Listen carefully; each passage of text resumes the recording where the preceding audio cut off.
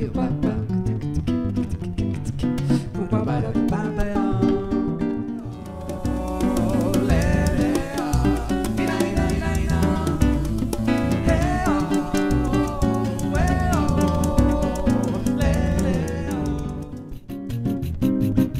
Você bem-vindo e eu feliz.